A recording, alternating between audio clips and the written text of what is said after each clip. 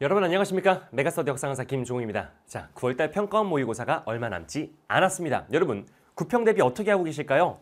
그 과목 중에 한국사와 역사 과목 제가 함께 말씀드리면서 어떻게 준비하면 될지 한번 이야기 나눠보도록 하겠습니다. 가장 먼저 여러분께 꼭 드리고 싶은 말씀은 뭐다? 디데이. 예전에 제가 썼던 이제 이미지인데 보세요. 어, 얼마 남았어요? 얼마 남았어요? 우리가 플래너를 쓸 때 또는 우리 메가스터디 홈페이지 들어가면은 D 며칠 써 있잖아요. 그렇죠? 세 자릿수가 깨졌습니다. 백자가 깨지고 두 자릿수로 바뀐 이후에 굉장히 빠른 속도로 체감이 될 거예요. 그죠? 자, 근데 정말 정말 미안하지만 이렇게 말씀드려서 정말 미안하지만 지금 여러분이 그렇게 X자 치면서 하루하루를 계산하고 아, 어떻게 얼마 안 남았어. 아, 진짜 어떡하지? 아, 어, 언제 다 하지? 이렇게 걱정하고 있을 때 누군가는 뭐 하고 있다? 지금 이 순간에도 이 캐스트를 보고 있는 이 순간에도 그저 하던 대로 묵묵히 나아가고 있다는 거죠. 그죠? 자, 그래서 우리가 이제 그런 어, 디데이가 의미가 없다는 건 아닌데 거기에 너무 매몰돼서 그거 날짜 하나에 너무 의미를 두지 않았으면 좋겠다라고 하는 겁니다. 해서 작년 같은 경우에 뭐 캐스트를 보시면 알겠지만 저는 어, D100 해서 딱 100일 날 찍어서 올리거나 그렇진 않았죠. 그 시간차 D-90 뭐 이렇게 해서 올렸는데 그런 날짜 하나하나보다는 지금 내가 오늘 하루를 어떻게 보냈는지에 조금 더 의미를 두는 그런 시간이었으면 좋겠습니다. 그리고 첨언을 하자면 이게 여기 보세요. 하나 하루 이렇게 X표 치잖아요. 여러분 시간이 굉장히 빨리 가죠? 그죠? 누가 이렇게 하고 있을 텐데 근데 이게 입장에 따라 다릅니다. 똑같은 24시간인데 군대 가보세요.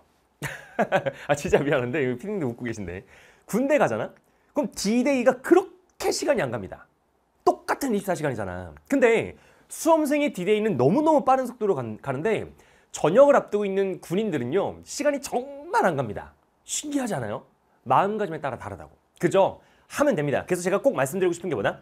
흔들리지 마시고 디데이가 며칠이 남았던 간에 그게 뭐가 중요합니까? 중요하죠. 중요한데 그 하루를 내가 얼마나 몰입해서 어떤 하루를 보내느냐가 지금까지 여러분이 보내왔던 시간보다 남은 시간을 훨씬 더 효율적이고 효과적으로 쓸 수 있다고 지금 말씀을 드리고 있는 겁니다. 그래서 그저 꾸준히 하시면 됩니다. 꾸준히 하던 대로 꾸준히 하시면 되세요. 그죠? 그래서 그 페이스 그대로 유지하시고 건강 관리 잘 하시고 이렇게 하시면 되는데 제가 이제 과목별 학습 전략을 말씀을 드리는 거잖아요. 이제 할 때가 됐습니다. 한국사. 이제 한 번은 할 때 됐잖아요. 그죠? 자, 9월달 평가원 모의고사가 끝나고 나서 하시는 분도 있겠지만 그 구평을 잘 보고 싶은 마음은 누구나 다 있습니다. 특히나 전 과목 다 이렇게 성적표가 나왔을 때 어쨌든 1 하나 찍고 싶은 그런 마음이 있잖아요. 물론 다 1 받으시겠지만 한국사 어떻게 하면 될까요? 말씀드려 볼게요. 자, 먼저 평소에 1, 2등급 받으시는 분들 있죠. 그냥, 그냥 한국사가 그냥 너무 쉬워. 뭐 5분 컷, 7분 컷, 몇 분 컷 친구들이랑 내기 하시는 분들 있어요. 실제 현장에서도 그런 친구 있거든요. 그럼 평소에 되게 잘해. 1, 2등급에서 고정이야. 내려오지 않아. 뭘 따로 하려고 하지 마시고 그냥 자투리 시간에 내가 까먹지 않을 정도의 가벼운 복습을 하시는 걸 추천합니다. 한국사는 절대 평가예요. 어, 한국사를 가르치는 입장에서 이렇게밖에 얘기를 못하는 그런 한국사 과목에 대해서 너무 아쉽긴 한데 제, 재단은 아쉬운데 그럼에도 불구하고 수험생 입장에서는 가장 부담이 적은 과목 중에 하나가 한국사 아닙니까? 그러니 성적이 잘 나오고 있으면 따로 강의를 보거나 따로 뭔가 공부하려고 하지 마시고 밥 먹는 시간, 이동 시간 아니면 뭐 그냥 잠깐 자투리 시간을 활용해서 복습하시면 됩니다. 근데 복습 어떻게 하면 됩니까? 라고 물어보시는 분들이 있어요. 그래서 제가 이렇게 말- 안내를 한번 드려볼게요. 즐거움이라고 하는 굉장히 즐거운 개념의 모든 것이라는 한국사 강좌가 있습니다. 제 강좌예요. 즐거움. 총 24강짜리예요. 아, 선생님 24강을 다 들으라고요? 음, 그런 거 말고 여기에 mp3 파일이 올라가 있습니다. 각 강좌마다 각 강좌마다 10분 내외로 다 이렇게 제가 따로 녹음한 거예요. 음성을 추출한 게 아니고 해당 범위를 따로 녹음을 한 거라고. 그래서 요거를 다운받거나 스트리밍 들으면서 그냥 가볍게 여러분이 좀 약하다고 생각되는 부분 것만 다운받으면 되잖아요. 그죠? 아, 처음부터 다 들을 필요 없어요. 필요한 것만 이렇게 해서 다운받아서 그냥 듣다 보면은 어 그렇구나. 그러다 보면 여러분 머릿속엔 이제 김종욱이라는 사람의 목소리가 익숙해질 거거든요. 시험을 보다가 어? 아 김종욱이라는 사람이 목소리가 들려요. 어 이거 뭐였지? 이거잖아. 까꿍 하고 제가 나타나는 웅며드는 마법을 경험하게 되실 겁니다. 어 죄송합니다. 이렇게 보시면 되겠다. 다음. 자 그러면 5등급 이하 중간 건너뛰고요.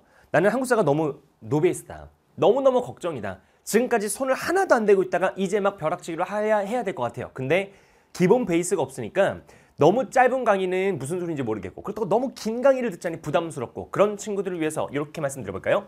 반가움 앞치게 모든 것. 자 그래서 총 9강짜리죠. 올 판서로 되어 있습니다. 9강짜리. 그래서 선생님 저는 교재 사는 게 부담스럽습니다 라고 한다면 교재 안 사도 괜찮습니다. 물론 교재를 사라고 얘기해야 되는 입장이긴 한데 안 사도 괜찮아요. 안 사도 되니까 판서잖아요. 판서. 어? PPT 띄우는 게 아니라고 올 판서면 올 판서. 그러면 판서가 어떻게 흘러가는지에 대한 흐름을 내가 머릿속에 집중하면서 딱 따라가잖아. 그러면 분명히 구조화가 될 겁니다. 아무리 등급이 낮은 친구들이라도 아무리 한국사가 노베이스라고 하더라도 요 강좌에 내가 조금만 집중하면은 집중해서 조금만 듣고 혹시나 관심이 있어서 내가 이거를 좀 옮겨 쓰고 싶다라고 한다면 판서를 다 옮겨 쓰는 거가 너무너무 좋긴 한데 시간이 오래 걸리니 중요한 키워드라도 한번 쓰면서 들어보세요. 그러면 분명히 도움됩니다. 분명히 이렇게 말씀을 드리고 다음 그럼 되게 이제 진동이 있는 친구들 있죠?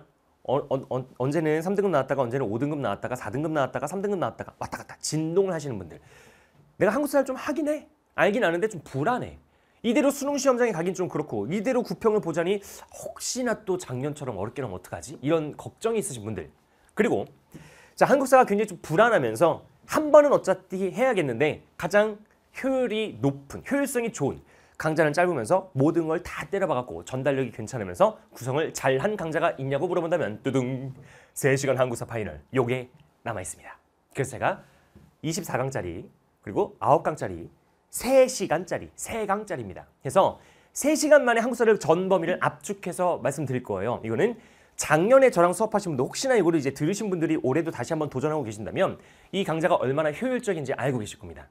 가장 짧은 시간에 정말 모든 걸 다 넣어놨고 물론 시간이 짧다 보니까 판서하면서 올 판서 이렇게 하진 않습니다. PPT를 띄워놓고 중요한 개념을 짚어가면서 볼 거예요. 그리고 작년에 만들었던 교재보다 조금 더 이제 추가하는 내용이나 이런 걸 좀 많이 넣어놨겠죠. 자세한 내용은 이와 관련된 OT가 이제 올라갈 거니까 OT를 보시면 되고 3시간만 저한테 빌려주시면 됩니다. 3시간. 한국사 3시간이면 됩니다. 3시간. 요 3시간만 저한테 빌려주시면 충분히 9평 1등급뿐만 아니라 수능 때까지 자신감 가지고 수능을 볼 수 있을 거예요. 이렇게 확인하시고 선생님 이거 언제 오픈하는데요? 예정은 8월 23일입니다. 예정일이야. 그래서 어, 이미 이제 뭐 교재랑 이런 건 작업이 다 이제 들어갔고요. 요거랑 관련돼서 이제 준비 끝나고 나면 23일 날 오픈 예정입니다. 교재 입고일과 이제 마찬가지로 오픈할 건데 예정일이니까 참고해 주시면 좋을 것 같습니다. 한국사 됐죠? 자, 등급별로 말씀드렸으니까 한 번쯤 확인하시고 혹시나 한국사가 좀 걱정이라서 선생님 제가 제 실력을 잘 모르겠어요. 이거 어떻게 해야 될까요? 와서 질문 남기세요. 보시면 알겠지만 Q&A 다 제가 하고 있죠. 조교 선생님 어디 계십니까? 좀 도와주십시오. 그래서 제가 혼자 하고 있잖아요. 와서 물어보세요. 제가 다 답변 드릴 테니까. 이렇게 해서 한국사 마무리하고요. 이제 어디로 간다? 서양사, 일본사, 중국사, 아, 동세사. 자 그럼 동아시아사, 세계사 어떻게 해야 될까요? 아직도 좀 많이 헷갈립니까? 아직도 개념이 헷갈려요. 이렇게 하시면 됩니다.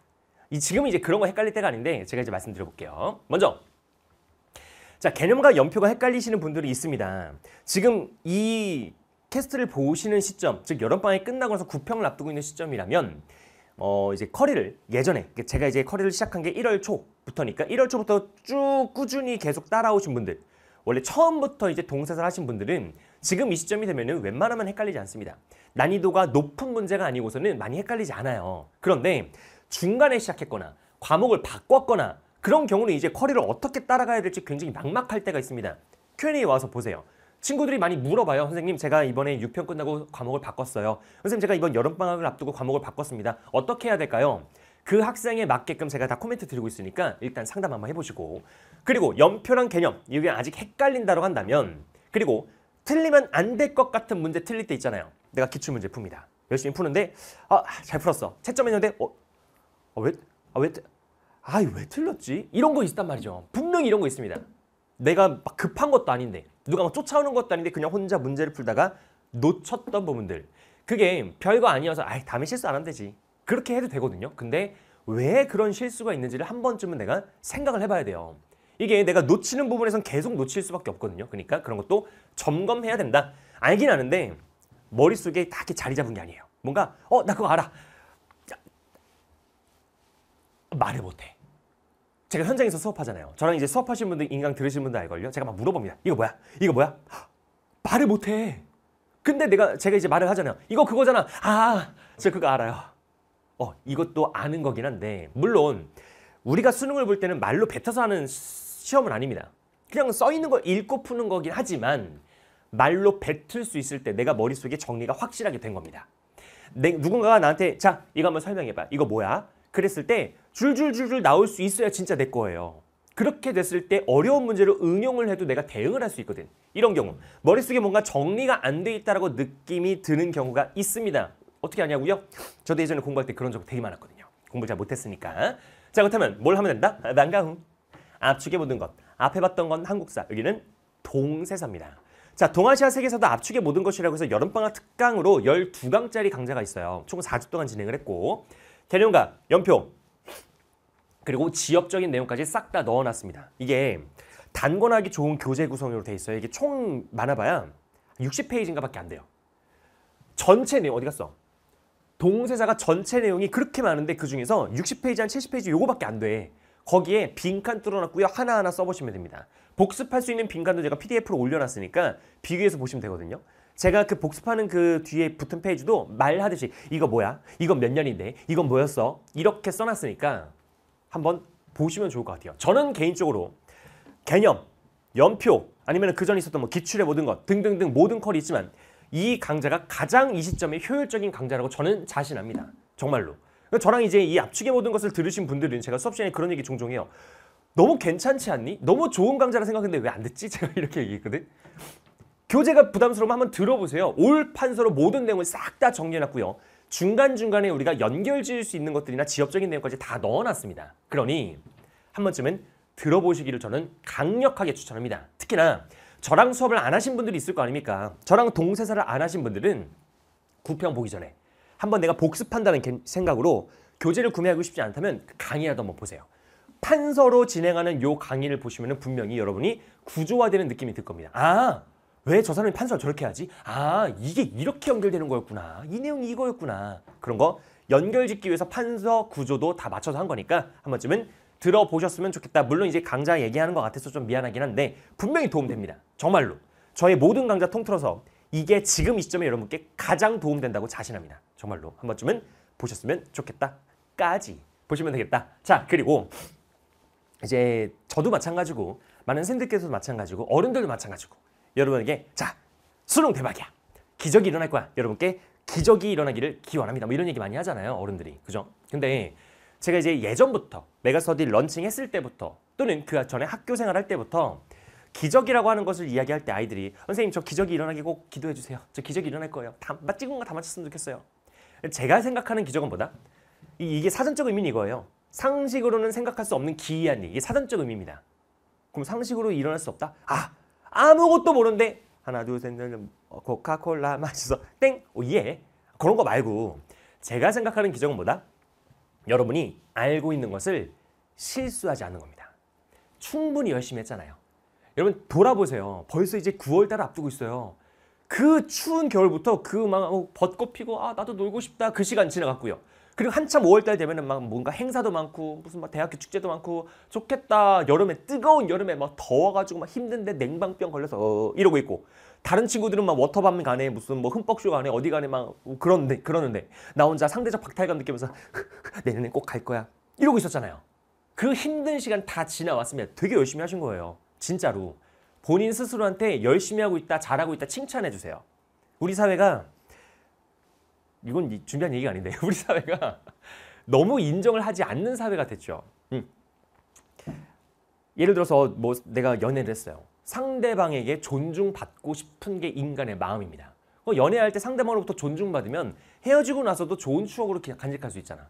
또는 뭐 어머니 아버지랑 부모님과의 아이들의 관계도 마찬가지고 선생님과 제자들의 관계도 마찬가지고 친구들의 관계도 마찬가지고 카페 사장님과 종업원의 관계 또는 손님과의 관계도 마찬가지고 서로 서로 좀 존중해야 되는데 그런 게 점점 없어지다 보니까 이제 사회가 점점 더 뭔가 이제 혐오스러운 범죄들 많아지고 하는 것 같은 느낌적인 느낌입니다. 이게 제 생각인데 준비한 멘트가 아닌데 아무튼 뭘 하자 나 스스로에게 잘했다고 인정해 주세요. 여러분 되게 잘하고 있어요. 잘하고 있고 힘든 시간 잘 견뎌와서 지금까지 포기하지 않았잖아.